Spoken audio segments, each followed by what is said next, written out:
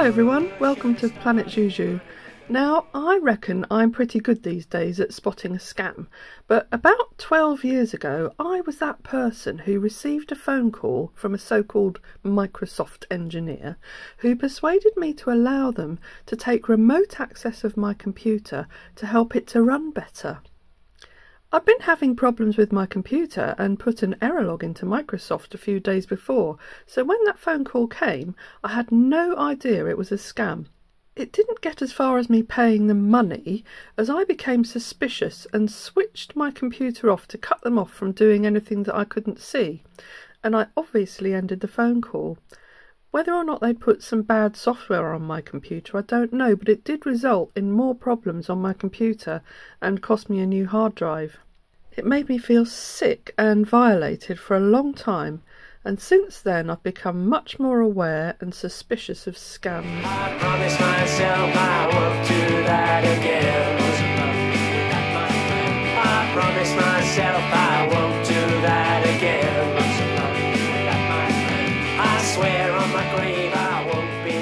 I still see people, including members of my own family, being scammed, and it really upsets me that people are being targeted this way.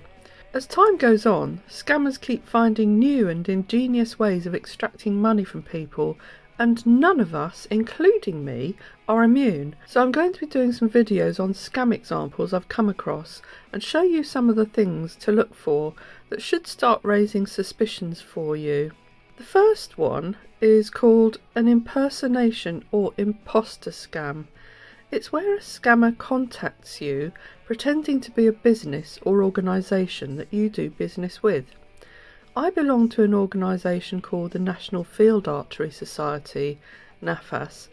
It's a membership group of over 6,000 archers.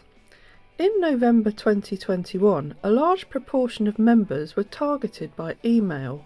The first time I received the email, I was, for a split second, ready to sign up for lifetime membership. It would save so much hassle after all. But then, of course, there are so many red flags. Hello, Archer. Many membership organisations have a mail merge system which would address members by name. But they do know I'm an archer. How? I'll come back to that later. National Field Archery Society staff. NFAS officers don't refer to themselves as staff, they're volunteers and would refer to themselves as a committee. You are eligible. Spelling error. NB. Only NeoSurf vouchers are accepted for this offer. Never heard of NeoSurf vouchers, but I'm certain NFAS would require payment to its own bank account. Gift cards are popular with scammers as they're more difficult to intercept and trace compared to bank transfers, and they can be used to launder money. So be wary if you receive a request from someone asking you to buy one or more gift cards to pay for something. The seats are very limited. Seats for what? This is supposed to refer to membership of an archery society, not a spectator event.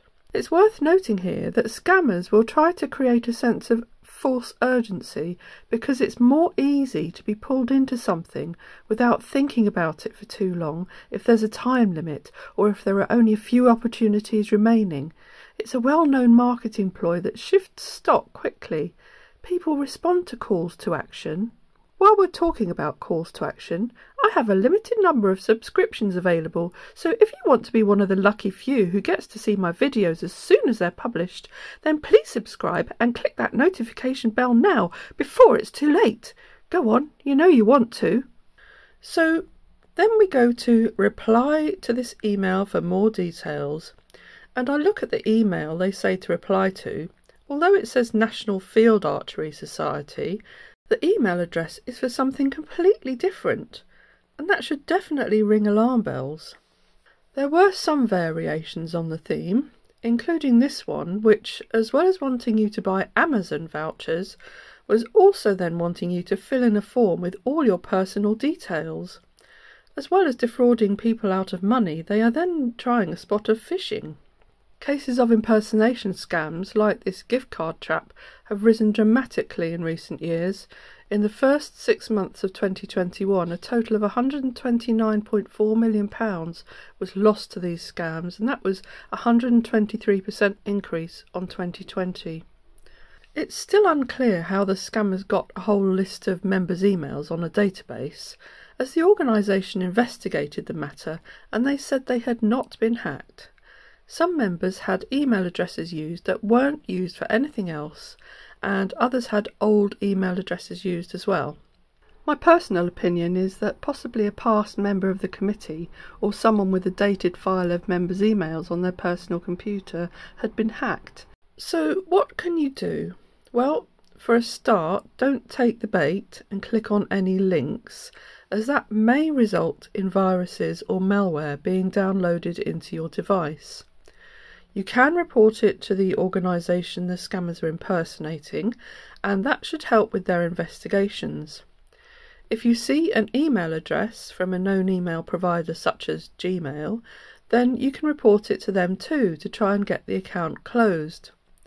Do not reply to any emails or messages. Once you reply, you're on a list of contacts to try scamming again, so just delete the message.